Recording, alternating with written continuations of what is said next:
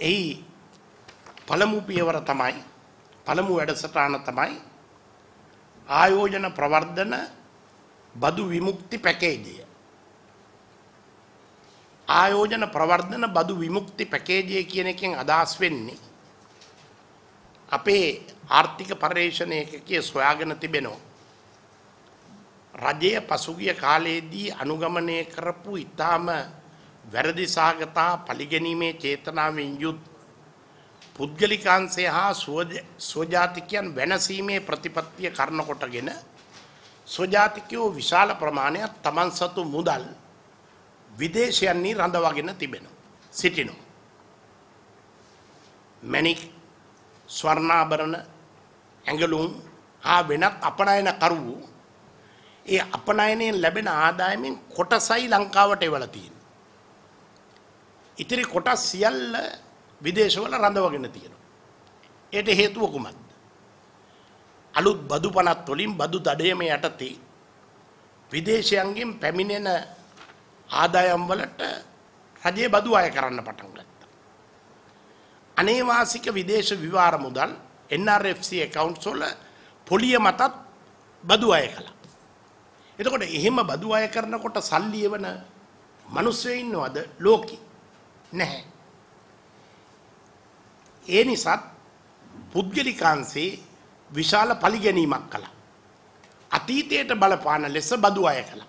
උදාහරණයක් වශයෙන් 2015 වර්ෂයේදී මේ රජයේ බලයට පත් වෙලා 2014 දී ලැබපු ලාභ වෙනුවෙන් සුපිරිවාසි බද්ද කියලා බද්දක් පැනෙව්වා.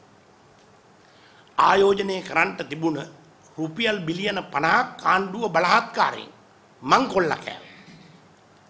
ඉතින් මූල්‍ය අපරාධ කොට්ටාසය කියලා එකක් පිටෝලා ලංකාවේ හොඳ නිර්යාත සමාගම් වල ප්‍රධාන සභාපතිවරු ඇතුළු පිරිස ගෙනාල්ලි වෙලා බංකුවල වාඩි කරලා පොලිස් නිලධාරීන් ලවා ඔවුන්ව ප්‍රශ්න කරවීම ආරම්භ කළා. පොලිස් රාජ්‍ය සංකල්පය යටතේ. ඊළඟට වැට්වලට හා අනිත් ආණ්ඩුවේ ප්‍රතිපත්තියට විරුද්ධ වෙන වෙළඳසැල් වලට රේගු දෙපාර්තමේන්තුව යවලා ඒ කඩ සීල් කෙරෙව්වා. ලංකාවේ පුද්ගලිකාංශයේ එක්සත් ජාතික පක්ෂයේ ඇතුළු පුද්ගලිකාංශය අසාමාන්‍ය ලෙස බිය වැද්දීමකට ලක් කළා. ඒ නිසා ඔවුන් මේ මුදල් ටික වෙන රටවල තිබ්බා. ගෙනාවේ නෑ ලංකාවට. අපේ ආර්ථික පර්යේෂණයකගේ ඇස්තමේන්තු කළා තියෙනවා. මෙසේ ශ්‍රී ලාංකිකයෝ විසින් විදේශවල රඳවාගෙන ඇතැයි උපකල්පනය කරන මුදල් ප්‍රමාණය ඇමරිකානු ඩොලර් බිලියන 8ත් 10ත් අතර වෙනවා කියලා. ඇමරිකානු ඩොලර් බිලියන 8ත් 10ත් අතර ප්‍රමාණයක් ස්වජාතිකයෝ ශ්‍රී ලාංකිකයෝ විදේශවල රඳවාගෙන තියෙනවා. ඔවුන් ඉපයූ එකෙන් කොටසයි එවල තියෙන්නේ ලංකාවට. එක්සත් ජාතික පක්ෂයක් රජයක් බලයට පත් වෙනවා නම් එවන්නෙම නැහැ. ඒ නිසා අපි මහින්ද රාජපක්ෂ මුදල් අමාත්‍යතුමා ඇතුළු රජයට යෝජනා කරලා තිබෙනවා ලංකා ඉතිහාසයේ කිසිම රජයක් ලබා නොදුන්න රාජ්‍ය මූල්‍ය බදු සහන පැකේජයක් යටතේ නිශ්චිත ව්‍යාපෘතිවල ආයෝජනය කිරීම සඳහා ඒ මුදල් නිදාසේ රට තුළට ගලා එන්ට අපි නීතිමය රැකවරණයක් ලබලා දෙනවා.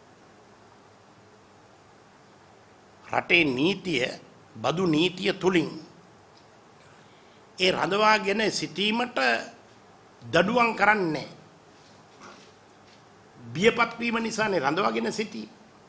කිසිදු ප්‍රශ්න කිරීමක් කරන්නේ නැතුව නිශ්චිත මුදල් අමාත්‍යාංශය අනුමත කරන ආයෝජනවල ඒ විදේශ මුදල් ආයෝජනය කරන්න පුළුවන් කිසිදු බදු ගෙවීමකින් තොරව සහ ඉදිරි වර්ෂ පහකට බදු ගෙවීමකින් තොරව බදු සහනයක් සහිතව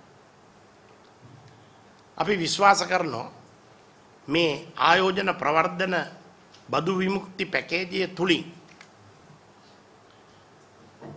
ඇමරිකානු ඩොලර් බිලියන 8ත් 10ත් අතර ප්‍රමාණයක් වර්ෂ දෙකක් ඇතුළතදී ලංකාවට පැමිණෙයි කියලා.